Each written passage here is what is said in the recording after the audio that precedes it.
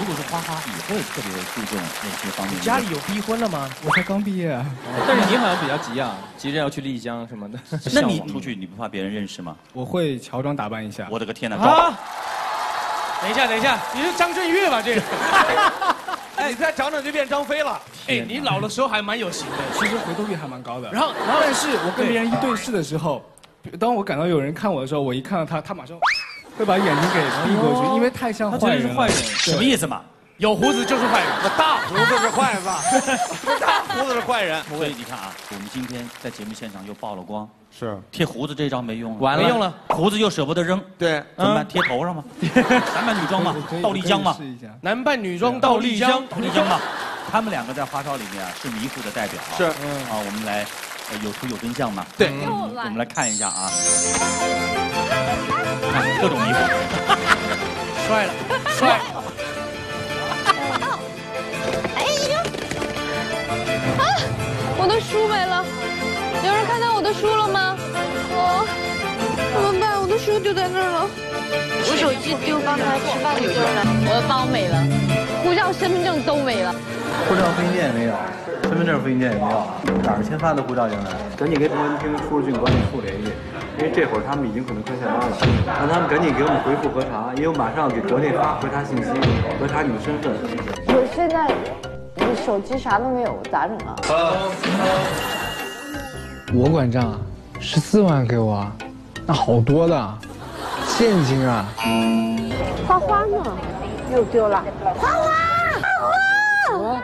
花！以后我买一条绳子，然后把你拴到我裤腰带。花花又丢了。这花花怎么老不见你？随意一点。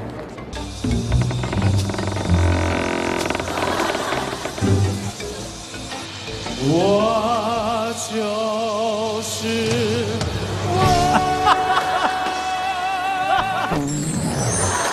你是不是一个特别这个容易走丢的人？其实我没有丢过，就是因为我真的，我真的没有。我知道，我知道他的心态是说，是大家走丢了。对啊，又不是我走丢了，我一直在路上。我一直在呀。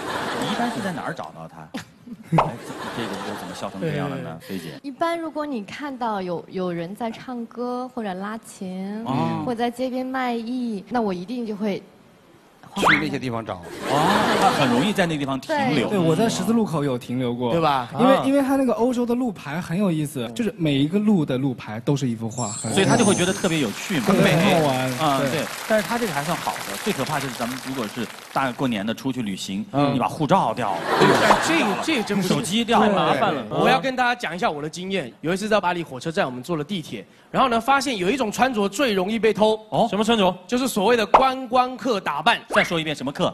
观光客打扮。太好了，说观光客。后背包、后背包、侧腰包、屁股后面还放钱包。对，那些扒手专门锁定这种的。这种造型就说你来偷我吧。对，然后地点很挤，对不对？就有那种小小的女孩子，她们是一个集团，哦，她们就会在你后面啊。